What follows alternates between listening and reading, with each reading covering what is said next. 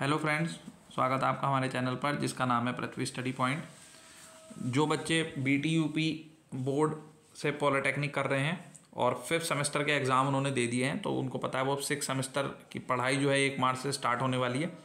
तो six semester का जो सिलेबस है मैकेनिकल थर्ड ईयर का, ठीक है?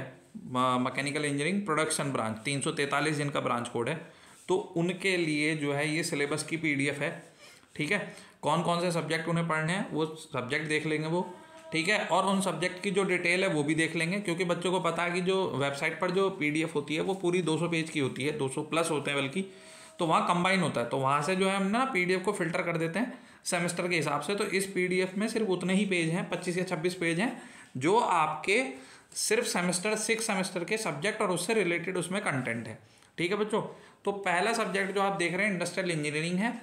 ठीक है, यहाँ पर जो है इसका थ्योरी और प्रैक्टिकल के जो एक्सटर्नल है वो मार्क्स लिखे होते हैं। तो आपको पता चल जाएगा कि इंडस्ट्रियल इंजीनियरिंग में आपका प्रैक्टिकल होना है। प्रैक्टिकल सब्जेक्ट भी आपको पता चल जाएगा। दूसरा है मेट्रोलॉजी एंड मेजरिंग इंस्ट्रूमेंट इसमें भी प्रैक्टिकल होता है। तीसरा सब्जेक्ट है बच्चों सीएनसी मशीन एंड ऑटोमेशन इसमें भी प्रैक्टिकल होता है। ठीक है? चौथा जो सब्जेक्ट है, वो इलेक्टिव सब्जेक्ट है। इनमें से जो है तो आप प्रोडक्शन ब्रांच के लिए टूल इंजीनियरिंग सब्जेक्ट सेलेक्ट किया जाता है। तो टूल इंजीनियरिंग आपको पढ़ना है, यानी कि टोटल चार सब्जेक्ट हैं और टूल इंजीनियरिंग में जो प्रैक्टिकल है वो नहीं होता है। देखिए आप यहाँ डैश लगा हुआ है, ठीक है?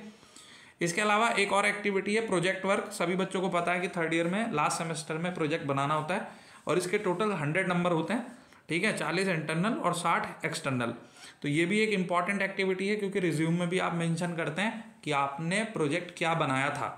ठीक है बच्चों? आगे की पीडीएफ में क्या है कि इन सब्जेक्ट की डिटेल है कि जैसे इंडस्ट्रियल इंजीनियरिंग हो गया तो इसमें कौन कौन से चैप्टर हैं कौन कौन से टॉपिक हैं?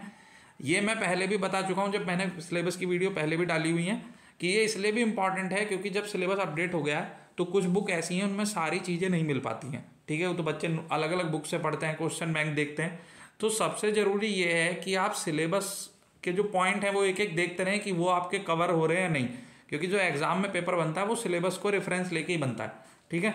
तो सिलेबस आपका कवर होना बहुत ज़रूरी है। तो वो कवर होने के लिए आपके पास सिलेबस होना बहुत ज़रूरी है, क्योंकि बहुत सारे बच्चे सिलेबस अपने पास नहीं रखते हैं, ठीक है? यहाँ पर लिस्ट ऑफ़ प्रैक्टिकल आ गया, ठीक है? ऐसी और सब्जेक्ट हैं, जैसे दूसरा सब्जेक्ट हो गया। क्या कहते हैं? सेकेंड आ गया मेट्रोलॉजी तो मेट्रोलॉजी सब्जेक्ट आ गया, उसके बाद इसके चैप्टर की डिटेल आ गई, उसके बाद जो है इसके नीचे प्रैक्टिकल मिल जाएँगे, ठीक है? लिस्ट ऑफ़ प्रैक्टिकल तो ये इनमें से आपको प्रैक्टिकल जो है वो कॉलेज में कराए जाते हैं। तो इसी तरीके से बच्चों जो है, आप अपने सब्जेक्ट का जो है, यहाँ से डिटेल देख सकते हैं। पीडीएफ आपको अपने पास रखनी है। इलेक्टिव सब्जेक्ट में जाएँगे आप तो आपको टूल इंजीनियरिंग देखिए, जैसे automobile maintenance service and repair है तो ये ऑटोमोबाइल ब्रांच के लिए ये आपके लिए नहीं है। आप जाएँगे अपने प्रोडक्शन ब्रांच पर यह आएगा आगे। ये सब इस पीडीएफ में मिल जाएगा आपको। ये टूल इंजीनियरिंग है बच्चों ओनली फॉर प्रोडक्शन तो ये आपको मिल जाएगा, ठीक है?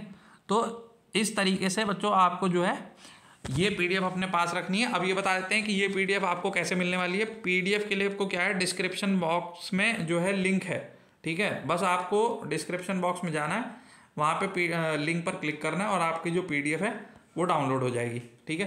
तो अपने ग्रुप में जो आपके कॉलेज के ग्रुप बने हुए हैं, अपने फ्रेंड्स के साथ शेयर कर लेना, ताकि सभी बच्चों को सिलेबस टाइम से पता चल जाए। ठीक है बच्चों? वीडियो हेल्पफुल लगी हो तो लाइक कर देना और जो चैनल पर नए हैं वो चैनल को सब्सक्राइब कर लें। मिलेंगे नेक्स्ट क्लास में नए टॉपिक के साथ। तब तक पढ़ते रहिए, खुश रहिए।